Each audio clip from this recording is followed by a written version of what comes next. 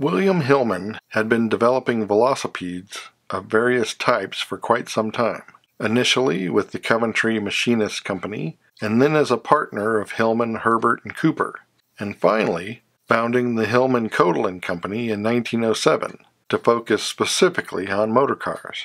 The first cars were quite large and fast, but Coatalen would leave to join Sunbeam in 1909, and once his name was dropped from the company, the cars would move significantly down market. Hillman would see their first real success with the 9 horsepower model introduced in 1913, a car that used a 1400cc inline 4.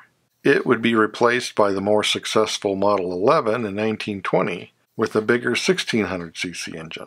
Sadly, William Hillman would die the following year. As he had six daughters and no sons, the company would be taken over by his son in law, John Black, who would later go on to become chairman of Standard Triumph. But the Hillman Company would continue on, with a focus on convertible models, at least until they introduced the Model 14 in 1925, of which Hillman would make approximately 11,000 by 1930, as they were able to undercut the prices of smaller cars.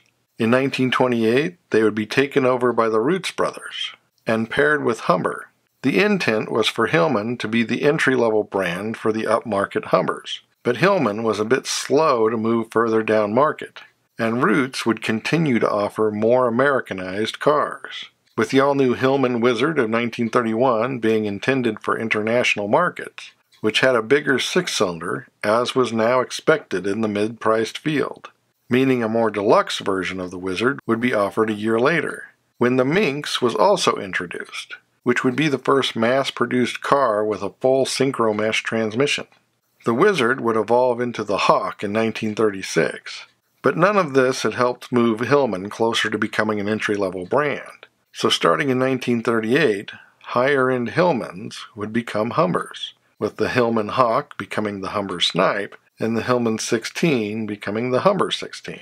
All of which helped Rootes expand as a major exporter as well as gain popularity throughout Britain, meaning that when the war broke out in Europe, they would be among the first involved with Britain's shadow factories, which were just factories used to quickly expand military production for the war, and they would be involved in reconstruction as early as 1940, while being Britain's biggest producer of bombers, which enabled them to quickly return to Minx production after the war and give it a modern styling update in 1948. It was slightly bigger at 158 inches long on a 93 inch wheelbase and weighing about 2,000 pounds, with a 1.2 liter inline 4 pumping out 38 horsepower and 48 pound feet of torque. The car helped Hillman expand production outside the UK, with a new factory in Australia and production in Japan by Isuzu. And starting in 1954, a tall wagon, or van version, was offered called the Hillman Husky.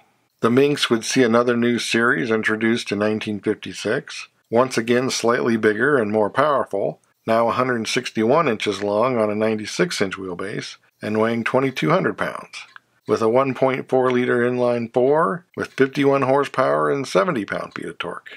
Designs were now being shared across the Rootes Group brands, which also included Singer, as well as Sunbeam and Humber.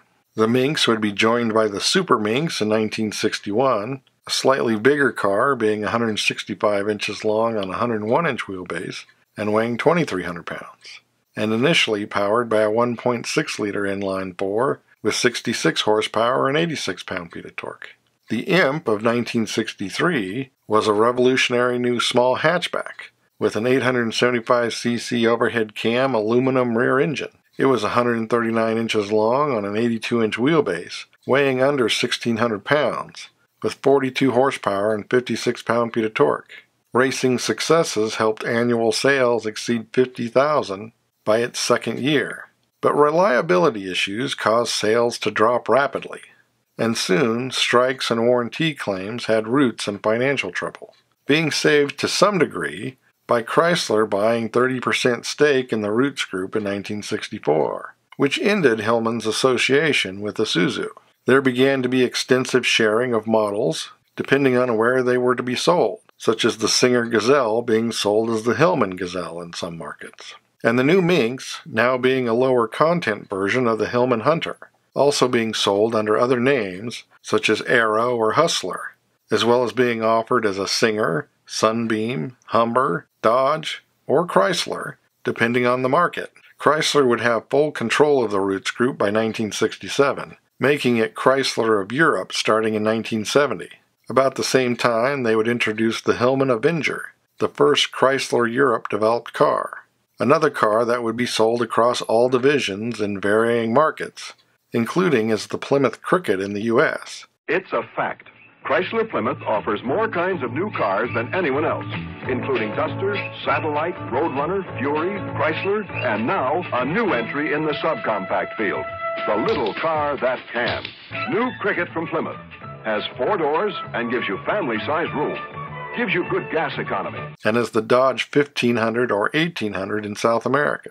There would even be a short-lived sporty version called the Tiger, and the Avenger would be one of the most successful British cars of the 70s. But it was essentially the end of Hillman, although it wouldn't be the only car that Chrysler Europe developed and brought to the U.S. With Chrysler's financial woes in the late 70s, Chrysler Europe was sold to PSA Peugeot Citroën, and all remaining models were consolidated under the revived Talbot brand in 1979, including the Avenger, although Talbot would only last until 1985 before being phased out.